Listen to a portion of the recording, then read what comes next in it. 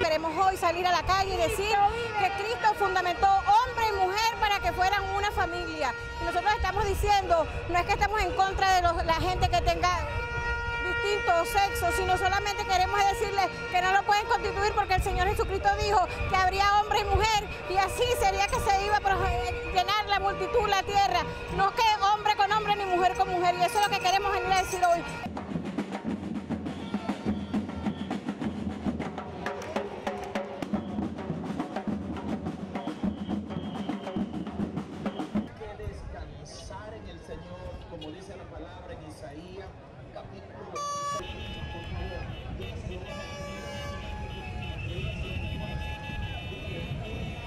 Desacuerdo con eso porque no es vida. Hombre con hombre no genera vida, como mujer con mujer no genera vida.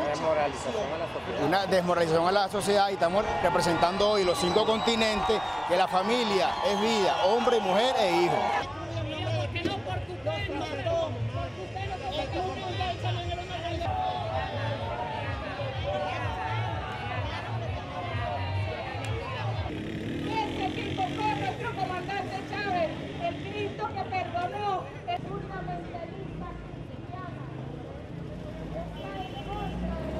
El Estado venezolano es un Estado laico que debe garantizar los derechos humanos de todas y de todos.